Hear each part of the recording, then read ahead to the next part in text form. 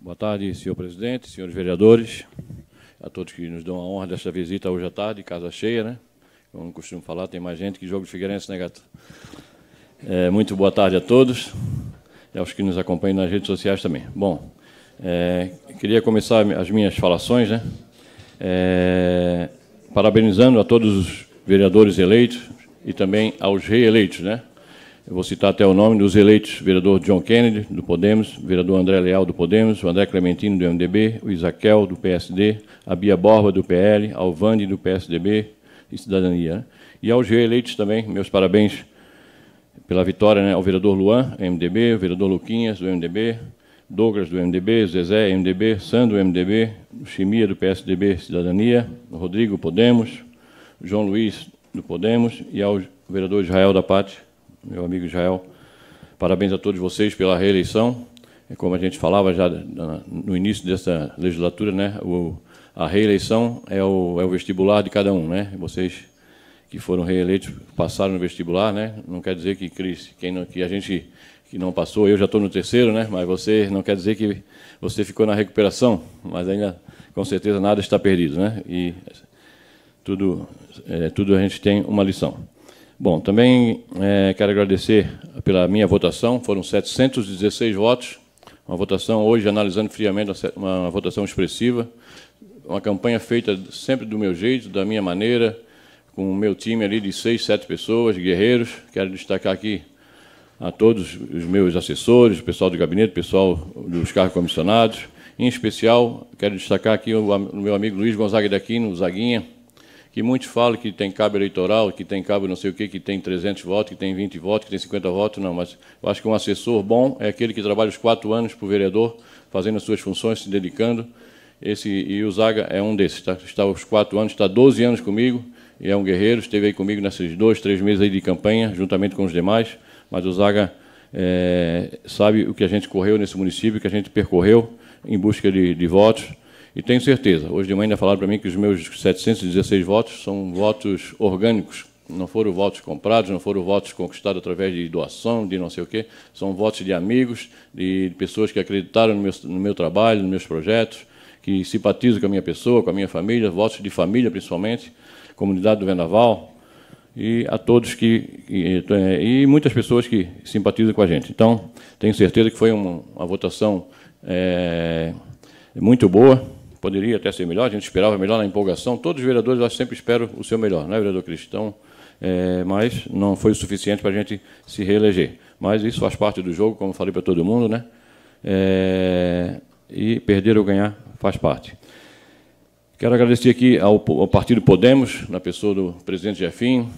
Muitos têm que devem a obrigação de se curvar diante de você, né, Jefim? Dizem que você não sabe articular, você não sabe não sei o quê, você é, você, você é uma pessoa humilde, é, às vezes fala, fala demais, às vezes fala besteiras no seu Instagram e coloca coisa que, que eu jamais teria coragem de colocar, mas é o seu jeito, é o seu perfil, mas você está aí. Fez três da outra vez e agora fez cinco. Será que o Jefinho não é um bom articulador? Não? Juntamente com o PSD, coisa sete. Então, é, é, de se pensar, né, antes de falar besteiras.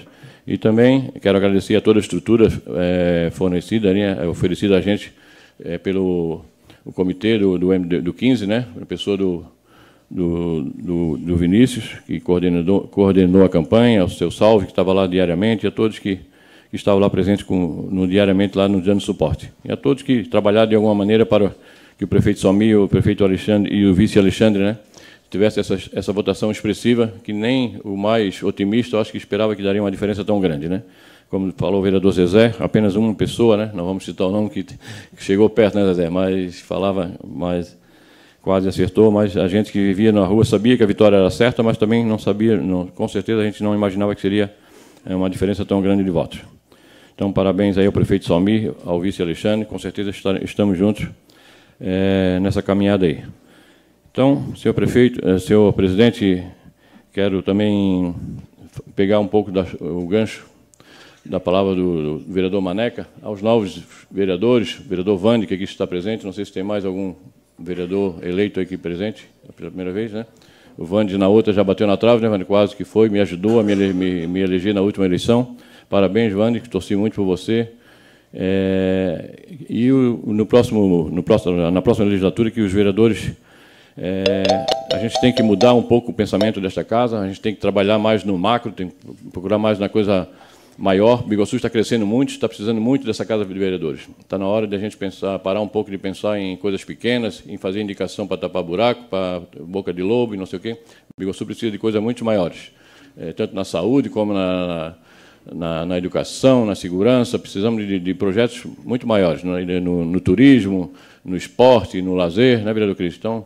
É, e, e, muitos, às vezes, não sabem o poder que tem um vereador. E a gente está na hora de mudar as mentalidades, parar de picuinhas, como falou o vereador Zezé, de briguinhas, de, de coisas. Eu acho que isso não leva a nada, não é o que o povo espera da gente. É, muito pelo contrário, o povo quer muito mais da gente. E a gente, quando é eleito, né, a gente é, é, é o que eles esperam de nós. Tá bom? Vereador Zezé e vereador Gato, quando vocês venceram, eu logo lembrei de vocês dois, tá? da, da sua mãe, Zezé, foi um baco, já passei por isso, sei como é que a dor, vereador Gato, quando eu vi em cima daquela caminhonete ali na. Eu estava indo já para casa e eu digo, não, vou dar a volta na praça, vou parar o carro vou esperar o gato ali, eu quero dar um abraço em você, gato. E com certeza naquela hora eu sei que teu pai estava ali contigo, atualmente estava com vocês. É, é, isso é uma dor incrível, né? Mas Deus vai dar força para vocês para superar isso tudo aí. Não fique emocionado, vereador Gato, senão eu já vou chorar também, que sou um chorão por natureza, né? É, e é isso, gato. Até para descontrair, como eu sempre gosto de contar uma piadinha, naquela hora que eu te abracei ali, gato, todo mundo, qual vereador aqui que não, não, agora não tem aquele voto que, que contava que foi traído, né? Na, na, hora que eu te abracei ali, gato, chegou um morador do Venaval, eu acho que ele não me viu, e ele te abraçou e disse, eu não votei em ti, e ele tinha prometido que o voto era meu, né? Eu não votei em ti, gato, eu votei no André, mas eu acho que ele não me viu. mas isso faz parte, né?